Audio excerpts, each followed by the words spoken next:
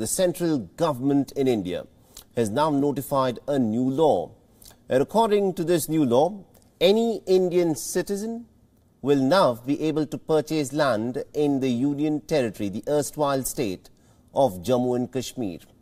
Now, the central government in its release has stated that the order will be called the Union Territory of Jammu and Kashmir Reorganization Third Order 2020.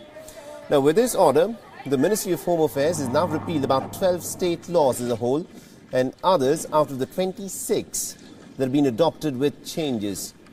Now remember, before the repeal of Article 370 and also Article 35A, which had granted a special status to the erstwhile state of Jammu and Kashmir, no individual who did not have a who was not from the state of Jammu and Kashmir could purchase immovable property in Jammu and Kashmir.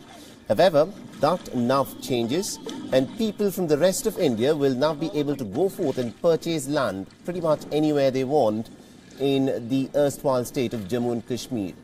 However, there is one caveat. This decision does not allow for the transfer of agricultural land for non-agricultural purposes, including for setting up of educational and health facilities.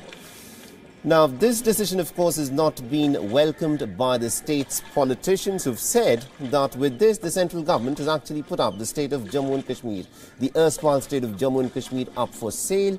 And they've also said that it ends the exclusivity of Jammu and Kashmir.